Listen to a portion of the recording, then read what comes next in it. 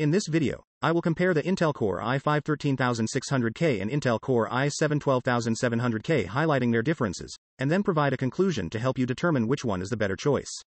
Both of these are powerful Intel processor and they have their own strengths as well as weakness. So let's look at them. The Core i5-13600K was released 11 months after the Core i7-12700K. The Core i5-13600K features 6 performance cores and 8 efficiency cores, while the Core i7-12700K has 8 performance cores and 4 efficiency cores. Additionally, the Core i5-13600K has 12 performance threads and 8 efficiency threads, whereas the Core i7-12700K has 16 performance threads and 4 efficiency threads. Having more cores and threads in the processor allows the processor to handle multiple tasks simultaneously and efficiently. In terms of clock frequencies, the base clock for the Core i5-13 600K performance core is 3.5 GHz, slightly lower than the Core i7-12700K at 3.6 GHz. However, the boost clock frequency for the Core i5-13600K performance core is higher at 5.1 GHz, compared to the Core i7-12700K at 4.9 GHz. This higher boost frequency enables the Core i9 to perform better under heavy CPU loads. The L1 and L3 cache sizes of both processors are similar.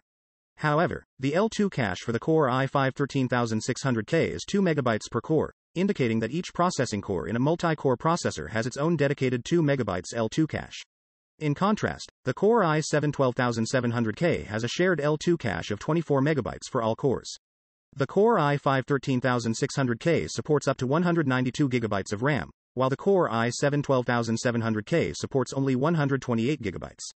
Both processors support DDR4 and DDR5, with a consistent RAM frequency of 3200 MHz for DDR4. However, the speed for DDR5 RAM differs, with the i5-13600K supporting 5600 MHz and the i7-12700K supporting 4800 MHz. Both processors feature integrated graphics in the form of UHD Graphics 770, and the boost graphics frequency for both is 1500 MHz. Both of these processors support ECC, making them suitable for critical systems. They also support PCI version 5 with 20 PCI lanes, facilitating the handling of more peripheral devices and faster data transfer rates.